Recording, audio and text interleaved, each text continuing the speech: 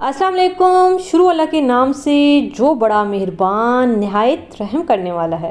आज हम बनाएँगे कराची में ठेलों पे मिलने वाली मज़ेदार खट्टी मीठी काले चने की चाट। मेरे पास फरमाइश भी थी कि जो ठेलों पे कराची में काले चने की चाट मिलती है, वो बनाना सिखाएँ। तो चलिए फिर आप सबकी फरमाइश पे बनाते हैं ये मज़ेदार काले चने की चाट। कैसे बनेगी क्या क्या चीज़ें जाएँगी, रेसिपी को आपने एंड तक देखना है।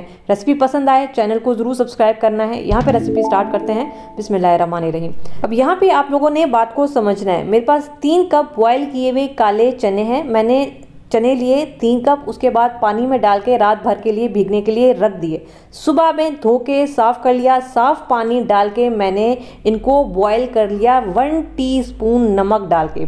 तो ये देखा, ये बहुत ही अच्छे बॉयल हुए हुए हैं, बस थोड़ा सा दबाने से ही ये टूट रहे हैं। तो हमने चनों को बहुत अच्छा बॉयल करना है। इसको साइड पे रखेंगे। यहाँ पे चटनी तैयार करेंगे, क्योंकि हम ठेला स्टाइल चाट बना रहे हैं तो एक कप मेरे पास इमली का पल्प है, ठीक है? एक कप हमने इमली का पल्प लेना है। इसके अलावा चार जवे लहसन के थे, जिनको मैंने इस तरह से चॉप कर लिया है, और मेरे पास तीन हरी मिर्चें थी, इनको भी मैंने चॉप कर लिया है। वन टीस्पून साबित सफ़ेद ज़ीरा है, हाफ़ टी स्पून नमक है। ठीक है, अब ये सारी चीज़ें हम डालेंगे मिक्सर में तो ये एक कप मेरे पास जो इमली का रस था, ये चला जाएगा। इसके अलावा वन फोर्थ कप मैं इसमें डालूँगी चॉप किया हुआ धनिया और 10 से 12 पत्ते मेरे पास पुदीने के होंगे जो मैं इसमें डाल रही हूँ और ये जो चीज़ें मैंने अभी आप लोगों को बताई थी, ये सारी की सारी जाएँगी इसमें। ठीक है, अब हमने क्या करना है, इनको ब्लेंड करना है और बड़ी मज़ेदार सी चटनी हमने यहाँ पे तैयार करनी है।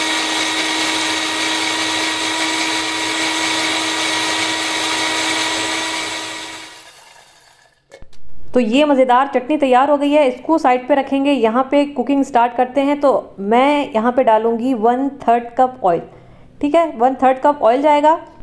वन टीस्पून मैं इसमें डालूँगी साबित सफ़ेद ज़ीरा। अब मीडियम आँच पे हमने ज़ीरे को थोड़ा सा कड़कड़ा लेना है। ठीक है? इसको जलाना नहीं है। जलने से बचाना है।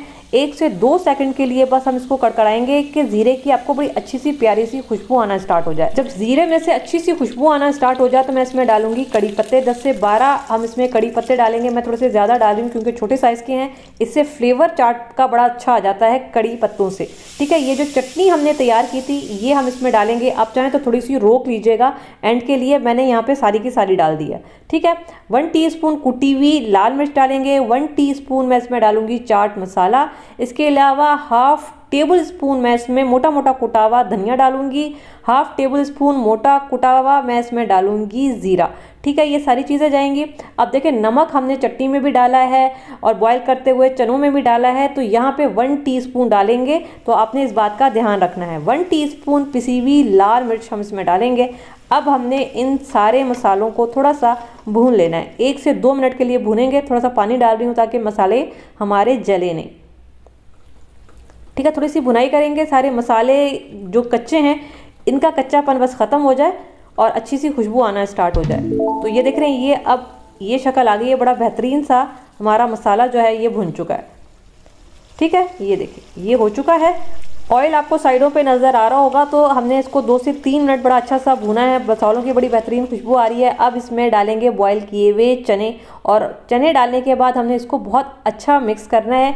बस मकसद ये है कि ये जो मसाला हमने इसमें डाला है, चनों के साथ बहुत अच्छा सा मिक्स होना चाहिए, ताकि चने में जितना भी फ्लेवर है वो मसालों का बड़ा अच्छा सा आ जाए। अब यहाँ पे तकरीबन थ्री से फोर टेबल स्पून मैं डालूँगी पानी, क्योंकि मसाला बिल्कुल ड्राई है और ड्राई मसाला सिर्फ़ चनों के ऊपर तक ही रहेगा। अंदर तक ये चने इस मसाले को सोक नहीं करेंगे। उस वक्त तक जब तक इस मसाले में मॉइस्चर नहीं होगा। तो इस वजह से हमने थोड़ा सा पानी डाला है और पानी डाल के हल्की आँच पे मैं इसको कवर करके दम पे रख दूँगी ताकि मसालों का फ्लेवर जो है, चने वो सारा मसाला अपने अंदर सोक कर लें और चनों के अंदर तक बड़ा अच्छा सा, मज़ेदार सा फ्लेवर आ जाए।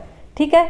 बस ये छोटी छोटी सी टिप्स हैं, जिनको आपने समझना है, तभी फिर मज़ेदार सी चाट तैयार होगी। तो यहाँ पे तकरीबन पाँच मिनट के लिए मैंने हल्की आँच पे इसको दम पे रखा था, और ये देखें जी, इस वक्त क्या ही मज़ेदार, माशाल्लाह से खुशबू आना स्टार्ट हो गई है इमली की, चाट मसाले की और सारे मसालों की।